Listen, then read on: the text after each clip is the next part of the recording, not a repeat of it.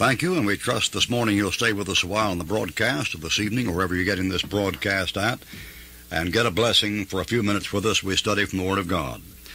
As a matter of fact, my subject for today is how to miss a blessing. Now, this may be a rather unusual subject to preach about, but the longer I live and the more I continue in the ministry, now after about, oh, 32 years of it, the more and more I'm convinced that there are many Christians who have a talent for missing every spiritual blessing God has for them in life. I don't know why this is, but I've seen it many, many times. I could recite example after example where a Christian had placed before him by the grace of God everything he needed for victory in his own life, for blessing, and somehow or another, every time opportunity knocked the door, he wasn't at home. I've seen young people, for example, some young men that were complaining about the carnal condition of Christian young women and wanting a good wife, not knowing where to find one, and being down and out on the women and convinced that all of them were good for nothing. I've seen those young men have a chance to hear girls' groups from the Rebekah home, Bethesda home for girls, uh, Roloff girls, and hear those girls give testimonies in their salvation and their consecration. And the day they would show up in church, those young ladies, those young men, that would be the weekend they weren't there.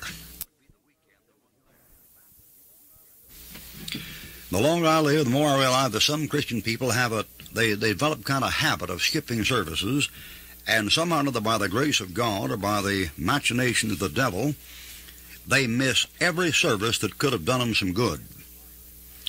And the ones they hit, finally, are the ones they don't need. It's a very strange thing. So I'm going to talk this morning for a while, or wherever you're getting the broadcast, it might be evening or otherwise in various places.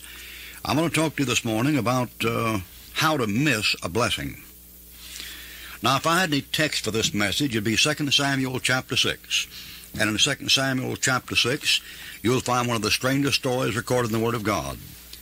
In this chapter, in 2 Samuel chapter 6, David the king is coming home, and he's moving the ark of God from its temporary uh, place in uh, Shiloh in Ephraim down to Jerusalem to be placed into the uh, tabernacle there, and there to await the building of the temple unto Solomon. This Ark of the Covenant has been uh, mishandled the first trip down to Jerusalem, and as you remember, Uzzah tried to put forth his hand and steady the cart that was shaking and about to uh, dump the ark in the road, and the Lord struck him there for his error. And so the ark remained in the house of Obed-Edom the Gittite for several months until David finally uh, found out the proper way to carry that ark on the shoulders of the priest as prescribed in the Levitical regulations in the book of Numbers. Now he's come down to the town brought the ark with him the right way this time. And as he's brought the ark down, he's gone ahead of it and shouted and rejoiced with singing and dancing and has uh, jumped up and down in front of the ark and praised God and generally carried on like a fanatic. And coming into town, his wife looks out the window and sees him. All David has on is a linen ephod, which is the equivalent of a T-shirt and perhaps a, a karate gi. It's about what it amounts to.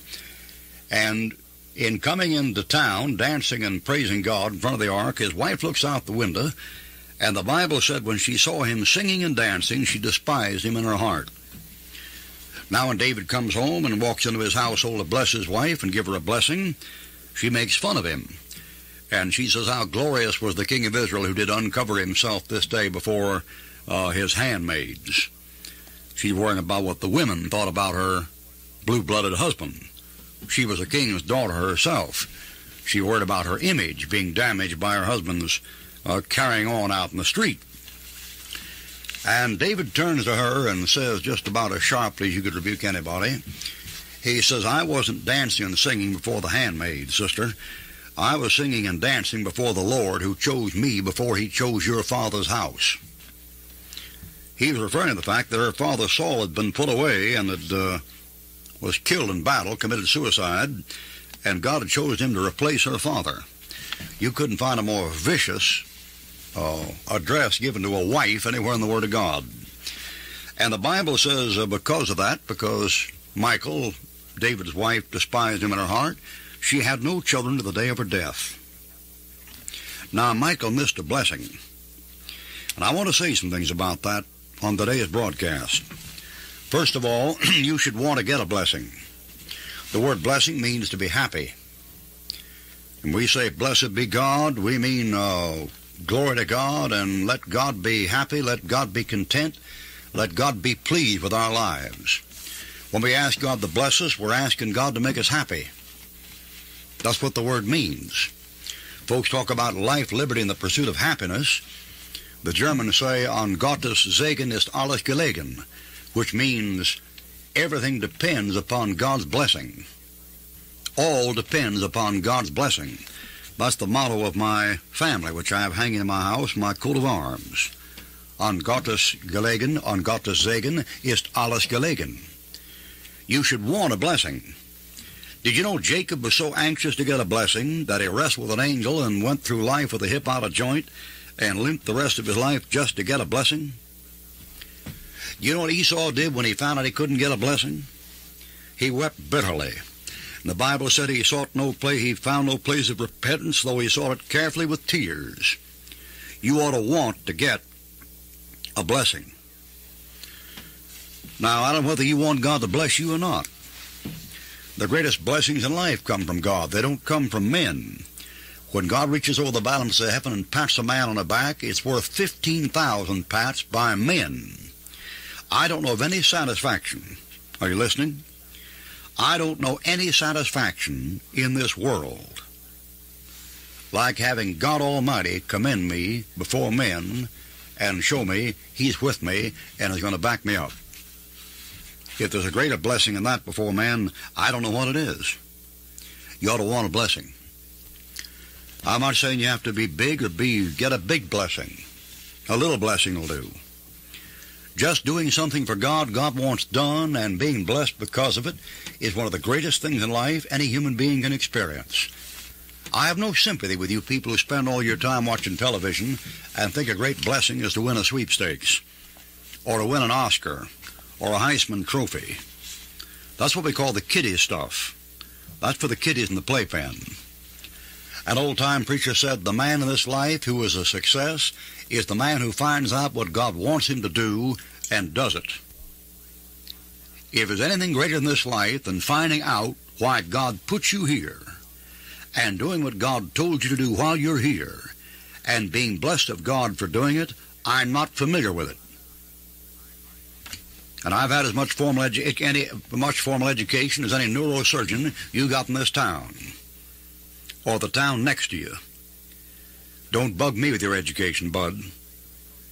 Lawyers and doctors don't phase me a bit. If there's something greater on this earth than finding out what God wants you to do and doing it, I've never run into it. And I've been in Hawaii. I've been in Japan. I've been in the Philippines. I've fished in the woods of Canada. I walked the mountains and climbed the mountains over there in Germany and Austria. Don't kid me. The greatest thing in this life is to find out what God wants you to do and do it. And if in doing that you get a spiritual blessing, you have attained what 98% of the people on this earth will never attain. If you can't be a pine in the top of a hill, be a scrub in the valley, but be the best little scrub by the side of the rill, be a bush if you can't be a tree. If you can't be a bush, be a bit of grass, some highway happier make. If you can't be a muskie, then just be a bass, but the liveliest bass in the lake. We can't all be captains. There must be a crew. There's something for all of us here. There's big work to do, and there's lesser to do. The lesser to do, the task we must do is near. I mean, if there's something smaller to do, it's right next to you. Do it. If you can't be a highway, then just be a trail. If you can't be the sun, be a star. It isn't by size that you win or you fail. Be the best of whatever you are. You ought to want to get a blessing. Number two, there is no blessing without a sacrifice. It cost Jacob something to get a blessing. There is no blessing without a sacrifice. No way in the world. David said one time, I'll not uh, sacrifice anything, I'll not do anything for the Lord unless it costs me something. When he bought the threshing floor of Araunah the Jebusite for the altar of burnt offering of Israel, he offered to pay that farmer for the land, and the man offered to give it to him for nothing. And he said, I won't, I won't take anything like that for the Lord for nothing. If it's gonna, if it's a matter for the Lord's service, I'm gonna sacrifice to do it. There is no blessing without a sacrifice. You can't lose weight without hurting. Nobody's ever found out how to do it. This country is filled with book after book after book on how to lose weight and how to get in the diet and how to lose pounds and this and that and this and that and this and that. I'll tell you something. You'll never really lose pounds unless you do a lot of crying. a fellow said, how's that? At the table. A fellow said one time he said he did it by doing uh, uh, push-froms. And a guy said, you mean push-ups? He said, no, push-froms. I, I pushed back from the table. There is no blessing without a sacrifice. You can't develop a body with muscle of steel and reflexes like lightning unless you beat your body to death in exercise. There isn't any easy way. Again, the Germans overdo it, but they say there must be a harder way. Well, that's kind of that's kind of humorous, you know.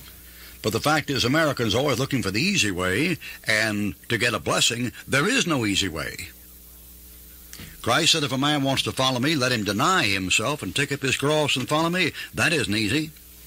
A travel agent said to a man at the uh, ticket counter, he said, for the price you have in mind, sir, I suggest you join the Navy.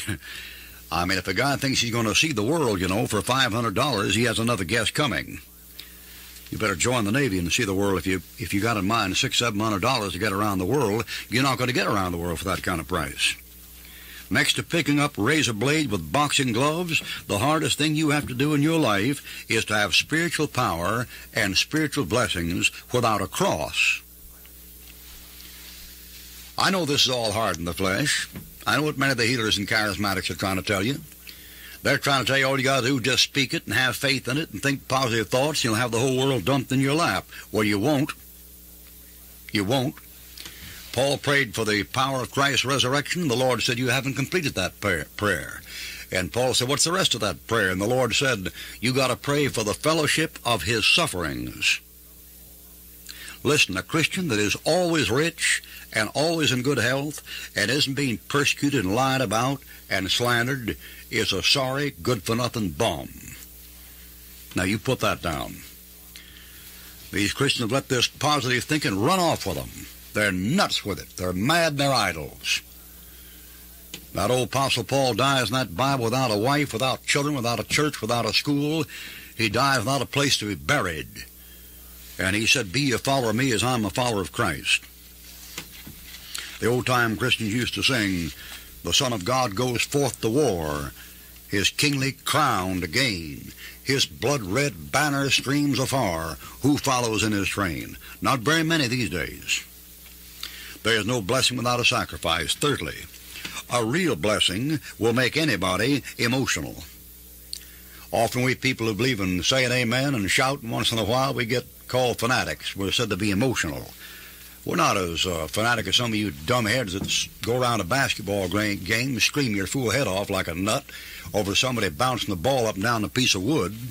You talk about fanatics, you'd put some of us out of business. Do you know that? Well, you taking that lame man got healed over there in Acts chapter 5, the Bible said he began to leap and praise God. When the remnant was at the rebuilding of the temple in the time of Ezra and Nehemiah, they began to shout and cry, so the voice of shouting and weeping was heard afar off, and they were mingled. Why, you take the world, they shout when they get physical blessings. Did you ever watch cheerleaders at football games? You talk about a bunch of fanatical nuts. I imagine actually leaping up and down. For what? I suppose tuition or pay the ball players or something is pretty big business, you know. Listen, we say people that get blessings, we get our emotions stirred. We get stirred up. People get there in television programs, they get a prize of a new ice box or refrigerator or range or a trip to Hawaii or something like that, and that crowd goes crazy. Clapping their hands, screaming like a bunch of idiots, and you have the nerve to call us fanatics when we say amen or glory to God or praise God when a sinner gets saved? You're one to talk. You take you people in the Cincinnati area. You know what you did this year, this last year? You sat around something like 10 below zero on cement benches and paid money to do it for over two hours. You paid to sit below zero temperatures where some of you so far back you couldn't even see which team was which. And you call us fanatics? Why, you old hypocrite, get the beam out of your own eye before you mess with the mote in our eye. A real blessing will make you emotional. If God really bless you spiritually, you get a real answer to prayer, you're going to be stirred up about it. David got stirred up. He was happy the, the Ark of the Covenant was coming home and was going to be in the same town where he was. And he jumped up and down and leaped before the ark and sang praises to God. Now, the next thing about this some blessings are offensive to others. There isn't a way in the world you can be a blessing all the time and get away with it for some people. You remember what happened in John chapter uh, 12 when Jesus Christ was sitting there and the woman with the alabaster box began to anoint his feet? You know what happened? It offended the tar out of one of the brethren, one of the fellows who talked in tongues and healed. You see, Judas had the apostolic sign because he was an apostle. It was Judas in Matthew 10 who was told to go forth and heal the sick and cleanse the lepers and raise the dead. Now, he was a fine spiritual fellow, wasn't he? And he sat there when that woman began to pour out that alabaster, the contents of the alabaster box. He said, Why was this waste made of this ointment? It should have been given to the poor. Bible has the succinct footnote on that that he didn't say this because he cared for the poor, but because he was a thief and held the bag. You know what offended him? That woman showing love to Jesus Christ. That's what upset him. And you mark my words, when people who really love God begin to show some love toward the Lord Jesus Christ, some concern for Him and for His cause and for His works and for His ministry and for His disciples and for His teaching, they're going to offend a bunch of hypocrites who try to back out by talking about welfare and taking care of the poor. That's the bunch that gets offended.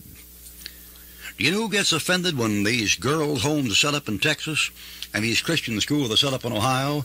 You know gets offended? Well, that's easy. The people that hold the money bag. And they say, why wasn't this money given to the poor? Did you ever hear that before? It was Judas that said that. Now you take David was a rebuke to Michal, his wife when David came home dancing up and down in front of that Ark of the Covenant, yelling, hollering, and praising God, it was a rebuke to Michal, his wife. You Michal was upstairs up there. It's M-I-C-H-A-L, Michal, I guess, or Michel in French, in French, and she was up there looking out that window, and she didn't feel that way about God, and she didn't feel that way about the Ark of the Lord. It was no blessing to her to see the Ark of God coming home. She didn't care anything about it. So here's David up there dancing and singing, hollering, having himself a time, having himself a spell, as we say down south, and she's offended. And when he comes in, she says, How glorious was the king of Israel. Real sarcasm, boy. How glorious was the king of Israel who uncovered himself today in the eyes of his handmaidens. She's upset. She's upset.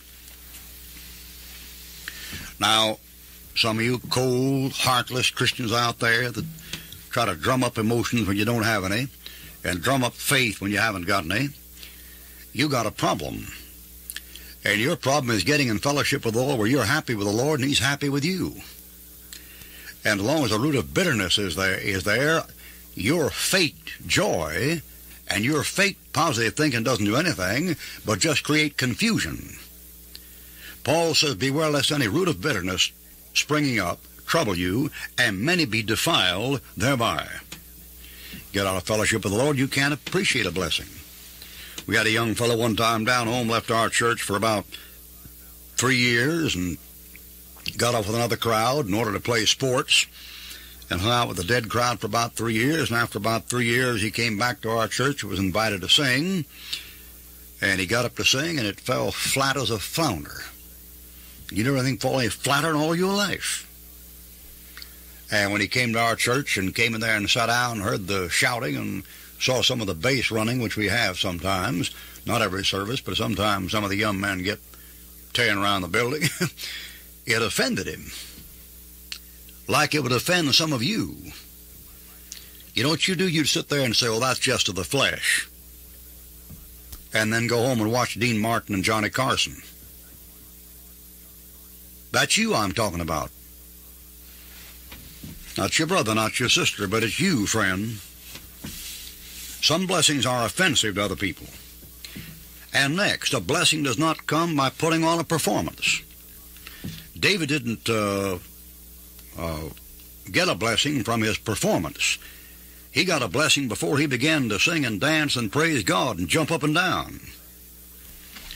We have an idea these days that uh, putting on a performance is a ministry. They're two different things. Oh, Brother has told me one church he preached in years ago, some thing was going on there, and they put on 27 specials before the sermon. About the time he got number 24, 25, he told the pastors anymore, I'm walking off the platform.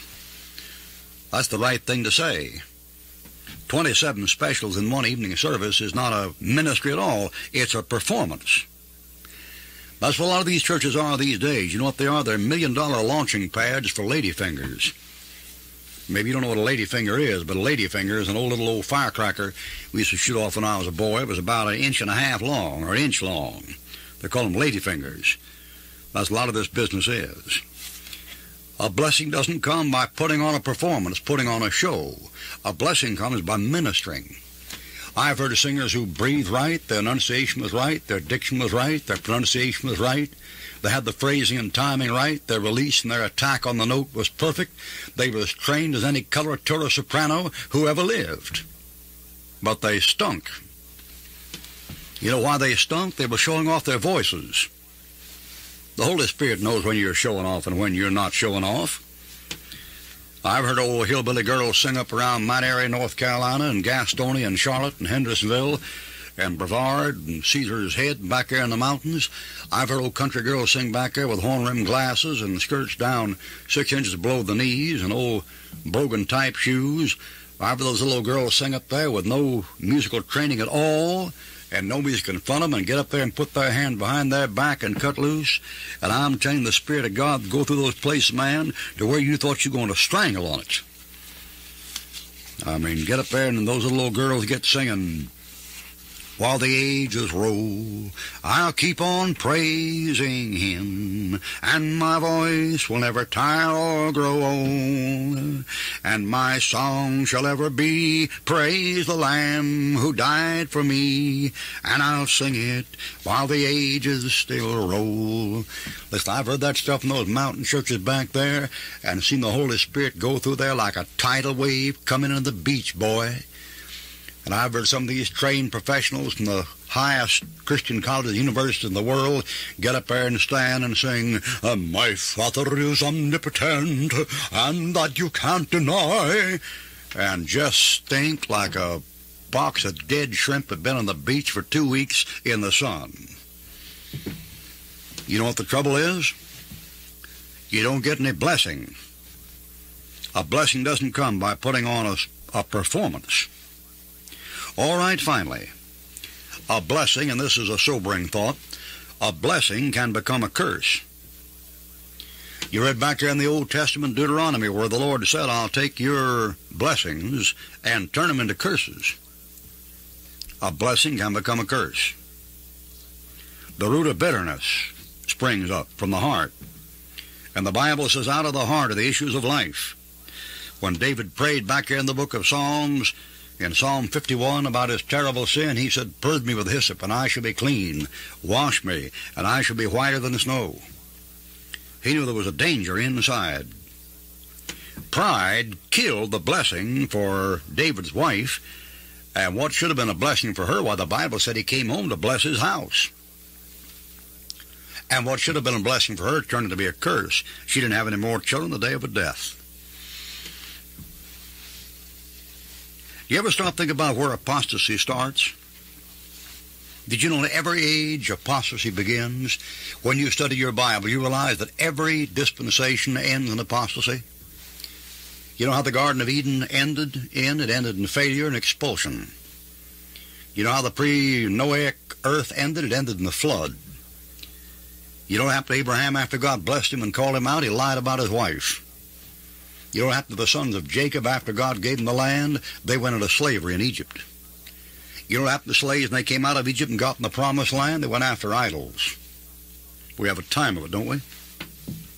Now listen, when trouble comes, you can curse it, you can nurse it, you can rehearse it, or you can reverse it. And when the offense comes, the way to get a blessing is make something out of it. Do something good with it. A blessing can become a, become a curse if you don't handle it right. Light rejected becomes lightning. Apostasy in every age begins with attacking and correcting and changing the Word of God. Every time. There's one case anywhere in church history where there's any variation.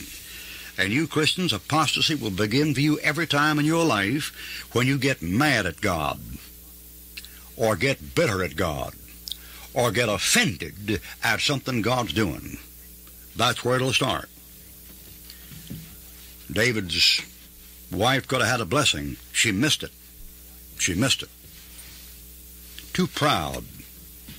Too stuck on herself. Lady said one time to a contractor busy building a building next door, she said, We've too much dust around here. We housewives can't stand all that dust day and night. One of those old grimy builders said, Well, he said, Lady, you came from dust. You're going to dust. You better get used to it. A lot of truth in that. A man said, We need more DDs. And the fellow said, What's a DD? A doctor of divinity? He said, No, down in the dust. Down in the dust. You want to, miss, you want to how to miss a blessing? Just stay stuck on yourself. Just stay full of yourself. Just put yourself first. And you'll miss every blessing God has for you. I close with a remark I opened my message with. It is remarkable to me when I look back upon 32 years of the ministry and see how many Christians I've known that missed every single blessing God had for them. God has blessings in store for His children. Many of them are physical blessings, many of them are spiritual blessings. God has victories He wants you to win. God has sins He wants to have you overcome. God has temptations He wants to have you learn how to overcome and get victory over. God has things for you to do. He wants to give you health and strength to do them. God has a ministry for you. God has money He wants to give you to pass on to others. And like I said before, there's some Christians that have a talent.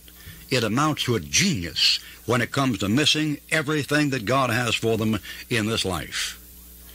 May God help you is my prayer if you're a Christian to obtain your spiritual blessings which by right are yours in Jesus Christ. And if you're an unsaved person, whatever you do, don't miss the greatest blessing of all, the blessing of spending eternity forever in heaven with your Lord and Savior, Jesus Christ.